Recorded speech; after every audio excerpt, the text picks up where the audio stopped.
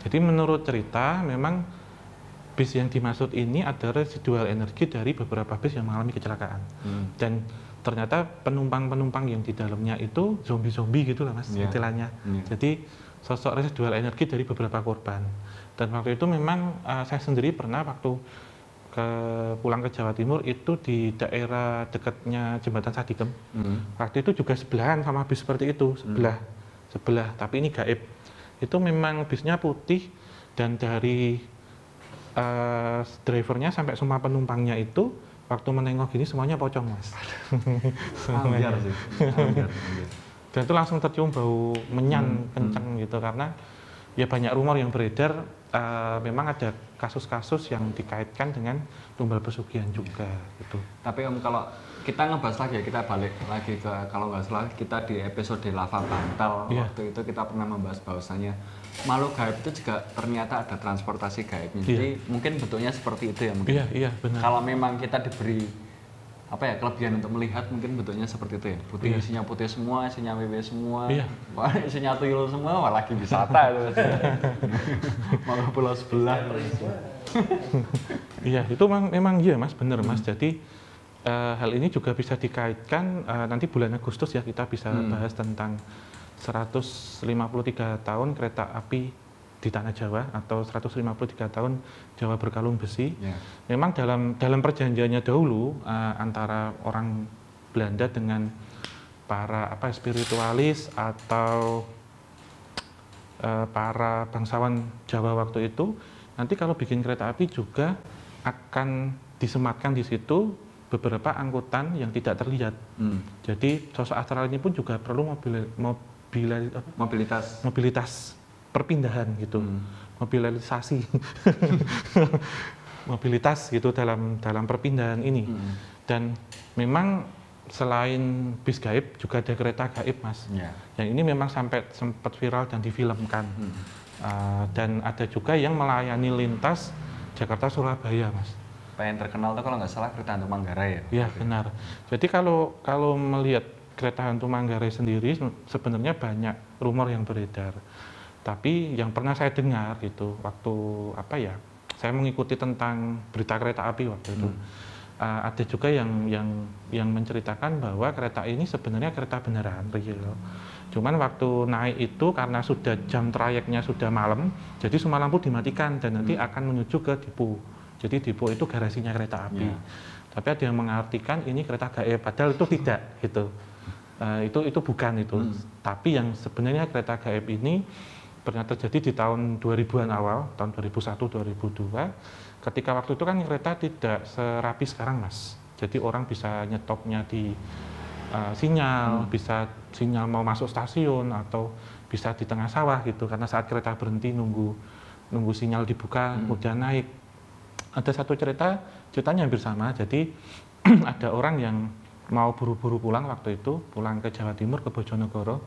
Itu nyegatnya dari eh, sinyal mau masuk stasiun Bekasi di sana. Dan kereta api ini sangat legend banget lah. Hmm. kereta khas Pantura semuanya putih. Kereta Argo lah ya putih itu Eh, waktu keretanya lewat karena biasanya waktu itu memang banyak orang yang memanfaatkan nanti bayar di atas mas jadi nggak beli tiket. Ya, itu dulu masih bisa ya. masih gitu bisa ya. Terus keretanya saat berhenti di sinyal itu memang sering gitu. Dan uh, si orangnya ini kemudian tidak pikir panjang asal ada kereta berhenti naik. Hmm. karena tahu ya uh, keretanya ini menuju ke apa? Tujuan yang sama. tujuan yang sama ke Jawa Timur. Tapi kereta ini eksekutif lah kereta eksekutif gitu. Yang pernah terjadi kecelakaan itu di Ngubuk di Gerobokan namanya hampir sama jadi waktu naik itu eh, dia melihat dari depan itu sampai belakang semua pintu tertutup. Tapi di kereta yang paling belakang itu kebuka mas. Hmm. terus naik. Nah, waktu naik itu semua gerbongnya itu hampir dari depan sampai belakang juga full. Cuman ada satu bangku di kereta depannya lagi. Jadi Hmm. langsung tanpa pikir duduk di situ. Hmm. tapi ini juga aneh waktu perjalanan tidak ada kondektur yang memeriksa.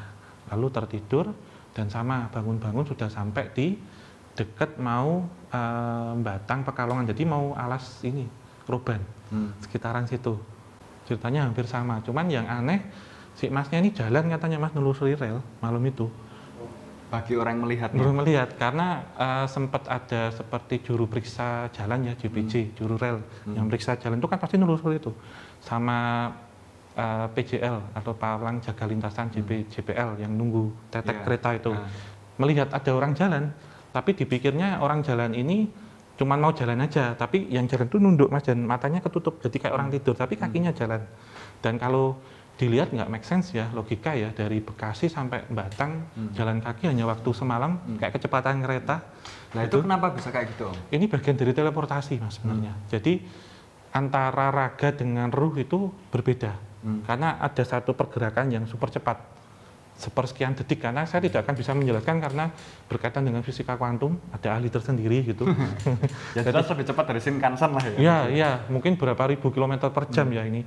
Dan secara fisik tubuh ini tertinggal sebenarnya. Jadi korinya yang ke bawah kereta duluan Hmm. ini nututi Iya. badannya. Dan itu uh, physically. Tapi kalau yang tadi kita sebut yang base itu kasusnya semua tubuhnya terbawa mas. Jadi satu masuk ke uh, ruang dimensi waktu. Jadi ada portal yang masuk ada portal yang keluar. Tapi kalau yang ini kasusnya berbeda. Dan uh, kasus-kasus ini memang sering terjadi. Yang salah satunya di Bojonegoro waktu jalur Semarang Surabaya Pasar Turi waktu itu masih single track. Itu ada kereta api KRD tapi ini kereta rel diesel bukan keranda. Itu memang melihat ada kereta berlawanan arah warnanya putih itu berhenti eh, kereta KRD ini karena Mas ini calling waktu itu apakah ada kereta jam segitu karena kalau ini diteruskan pasti ada tabrakan. Iya. Tapi saat semua penumpang turun keretanya mau mendekat hilang gitu langsung mas. Dan itu banyak melihatnya juga. Banyak dan itu fisik ada di berita waktu itu ada beritanya. Jadi gini om, kayak mungkin ya kalau kita melihat melihat penampakan makhluk halus kan apa ya salah satu momen yang sangat langka Iya. mungkin ya. Dan itu ya mungkin yang banyak terjadi di kita. Tapi kalau sampai transportasi gaibnya itu sampai terlihat di dunia kita itu sebenarnya apakah berdasarkan aturan saya nggak saya nggak tahu ya Iya. aturan metafisika seperti apa itu adalah sebuah kesalahan kah? Eh, ini sebenarnya ini mas dari letupan atau luapan energi metafisika yang mereka sampai solid ke alam kita. Hmm. Karena di di alam sana pun sering kita bahas juga kan ada transportasi gaib nih. Itu juga ada beberapa yang mereka mengambil mengambil tuh me- apa ya memanipulasi gitu. Hmm. Dari alam nyata dibawa ke alam astral kemudian balik ke alam nyata lagi. Hmm. Jadi bakal eh, ini kalau kita bahas memang panjang ada di beberapa tempat itu bahkan ada bandara gaib mas. Jadi memang benar-benar bandara. Hmm. Jadi ada pesawat landing, ada pesawat take off. Bentuknya hampir sama, cuman bentuk-bentuknya itu ada yang supersonik apa gitu. Hmm. Dan mereka memerlukan itu untuk untuk transportasi dan untuk teleportasi berpindah. Apakah kalau misalnya ada bandara itu apakah misalnya yang datang itu dari luar atau hanya digunakan untuk lokal-lokalan aja? Tetap ada yang dari luar. ada yang ya dari luar, iya. Ada yang dari luar juga. Dan ini memang ada di beberapa tempat sih mas. Pernah saya lihat gitu dan di sana dulu kita juga sempat bahas ada sekolah gaib, ada Hmm. pasar. Pasar gitu. Di sini juga mungkin kalau nanti kita GAD ketemu, Oh, Siapa ya, tahu. penasaran nih. bisa kan? Waktu penulisan gini, bentar-bentar, saya di sana melihat di sana ada bandara. Keren. Keren sih. Om. Nah, kapan-kapan aja kita GAD itu boleh tuh sebelum ke Alaspe kan. Nah, Iya. Mencari tempat yang di mana ada bandara gaibnya. Iya, sebenarnya macam-macam mas. Kalau Hmm. kalau kita ini ya nanti akan kita lihat lebih dalam ya. Ada bandara, ada rumah sakit. Ini khusus gaib ya mas, bukan Nah. berarti kemudian kayak rumah sakit yang terbengkalai ada dokter gaibnya bukan. Tapi untuk untuk ini untuk pasien-pasien makhluk gaib, Gaib. juga iya. Nah. Kemudian itu bahkan non sewu ada kayak tempat hiburan malam gaib juga gitu. Jalan Solo, Jalan Solo. Terus ad- Kalau Padang itu bukan. Biasanya kalau kayak gini terjadi di gunung yang eh, gunung yang benar ya, yang besar gitu dan hutan biasanya. Hutan tuh pasti ada. Emangnya Gunung Padang apa? Transportasi kan. Apa? Oh, teleportasi Oh. yang kursi. Bukan. Bukan itu teleportasi, beda itu medi, eh, secara media itu orang manusia. Hmm. Tapi ini benar-benar pure gaib semua. Gitu. Kalau di Gunung Padang itu mungkin masih ada ini ya beberapa teknologinya juga ya karena Iya. dia kan kayak tatanannya itu kan terstruktur gitu. Kelihatan gitu. Tapi itu Kelihatan. interaksi manusia sih, Mas. Manusia sama alam gaib. Kalau ini memang gaib dengan gaib gitu. Hmm. Seperti apa gitu. Kalau saya, saya pribadi percaya ini membahasakan Gunung Padang. Saya percaya Gun- Gunung Padang itu adalah kendaraan alien. Karena saya lihat strukturnya. Kalau kalau mungkin kalian bagian kalian semua ini cuma apa omong kosong aja kayak mungkin kalian pernah ke sana kalian pasti akan setuju dengan saya dari strukturnya dari Iya. lantai berapa itu benar-benar kayak ini yang kita lantai atas loh Ya, Atas sendiri paling kan? atas ya, kelihatan. Tempat duduknya tempat duduk kaptennya yang di sana tempat duduk rajanya. Lah ibaratnya kayak gitu. Karena itu kan juga simetris dengan atas. Atas, iya. kayak gitu. secara astronomi memang kalau kita ngeliat gini langsung pasti Hmm. kalau mengamati benda antariksa benda. Hmm, apa ini eh, bintang ya di Iya. atas. Tapi sampai sekarang mungkin Gunung Padang masih belum diketahui ya. Itu sebenarnya situs apa tuh sebenarnya Iya, masih belum sebenarnya masih banyak ini sih apa pendapat juga. Karena Hmm.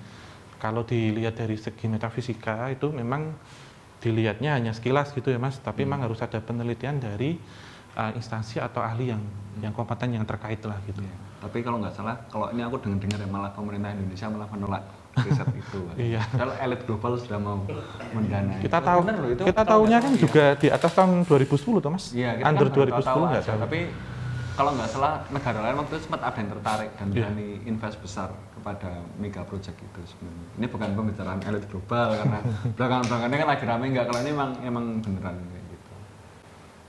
Tapi teman-teman semuanya. iya ya mungkin agak ke mana-mana tapi ya ya seperti inilah sebenarnya transportasi-transportasi yang mungkin sering atau lekat dengan kita yang dari dunia gaib mungkin nggak sengaja keluar kayak gitu iya atau mungkin dari dunia kita masuk itu pernah ada nggak pernah pernah ada Iya, pernah. Jadi ada beberapa cerita juga yang eh, kayak ini sih mas, eh, ada ada driver yang kayak ini modelnya kayak undangan rewang. hmm. Jadi ada yang didatengin eh, itu kayak keluarga bangsawan gitu, Hmm. tapi ternyata diminta jadi driver di alam astral Hmm. di sana. Jadi nyetirin keluarganya gitu dengan kendaraan yang eh, super canggih berbeda. Kita ada juga. Untung yang waktu itu apa yang ngikut petinggi Jogja kayak dijadiin driver ya waktu kan sempat rame juga loh tuh beritanya kalau nggak salah diajak ketemu dengan penguasa pantai laut selatan kalau nggak salah Iya, iya ada. Diberi jangan apa-apa Ada yang seperti itu ya mas, Iya. ada juga yang yang kayak kerja lintas dimensi Hmm. gitu. Tapi untuk beberapa kasus, eh, saya sempat sempat baca juga ini agak keluar topik sedikit tentang bekerja tadi. Banyak yang bilang kalau untuk manusia mungkin pernah tanpa sengaja masuk ke dunia gaib dan mungkin dia mengingatnya kayak gitu. Katanya lebih apa ya mulia di sana kehidupannya dan katanya lebih betah daripada di sini. Iya. Katanya kayak gitu. Iya, jadi contohnya kayak yang dulu undangan rewang, terus Iya. yang uh, driver ini alam gaib juga Hmm. itu memang mereka merasanya kayak dikontrak cuma satu minggu bisa nih Hmm. mas, atau 40 hari atau 35 hari. Tetapi di alam kita udah hilang lama. Iya. Tapi saat balik ke sini bukan uang yang dibawa tapi sesuatu biasanya ada yang dibawa nih benih Hmm. untuk nanti disebar ke apa sawah, Hmm. dibawain tanah, dibawain eh, kayu atau apa itu jadi simbolis itu sebenarnya Hmm. mas. Nanti setelah dibawa ke sini ya da- kasarannya dapat berkah gitu. Hmm. Ya kurang lebihnya mungkin begitu mas Genta. Ya. Nanti mungkin kita akan studi lapangan langsung gitu ya nanti untuk GAD. ini. Iya. Eh, tenang nanti eh, pemirsa dan sobat Javanika kita di bulan ini ada rencana untuk syuting GAD lagi. Ya, kecil-kecilan lah tapi. Ya kecil-kecilan deket-deket lah masih abad ya AB Iya. dan AD nanti sekitar-sekitar ini dan kita akan mengikuti protokol aman dari COVID-19. Wih, pakai APD. Pakai APD. Jadi ya wes teman-teman Iya. mungkin ini adalah konten singkat kita untuk menemani masa transisi untuk minggu depan kita jalan-jalan lagi. Sedikit obrolan semoga bisa kalian nikmati dan sedikit ya sedikit pengetahuan aja lah untuk kalian-kalian sebenarnya karena sebelumnya kan banyak kasus viral-viral yang serupa juga ada. Bersantu lah kereta hantu. Ya ini adalah cerita lain yang kita mengerti dan kita tahu kayak gitu. Jadi ya terima kasih sudah mendengarkan obrolan kita ini. Di suasana yang baru ini semoga menjadi pembelajaran baru untuk kalian selalu. Dan ya jangan lupa buat klik like share dan komen entah apa. Biar kayak youtuber youtuber. Kan udah mau satu juta masa kita nggak tidak bertingkah seperti youtuber? Ya seperti itu teman-teman semuanya. Terima kasih. Ya, akhir kata.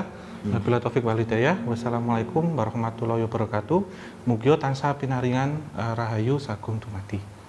amin. Terima kasih sudah menonton